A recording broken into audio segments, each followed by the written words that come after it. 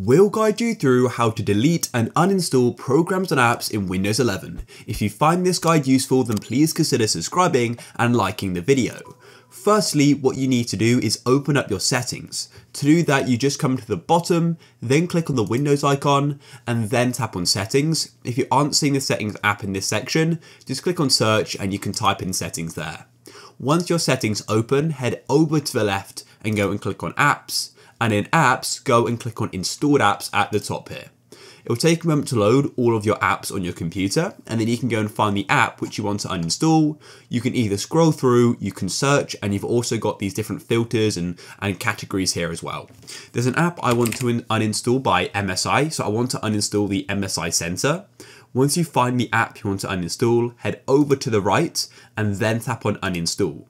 You need to press uninstall again, and now the process of uninstalling apps does vary a little bit. As you can see there, it just uninstalled. Just another quick example, here's TikTok Live Studio. I'll click on the three dots on the right, I'll press uninstall and uninstall again. And this one, I've got a bit more of a uninstall wizard. So I then need to press uninstall and it'll then do the process. A bit longer than the last one, and then it's uninstalled.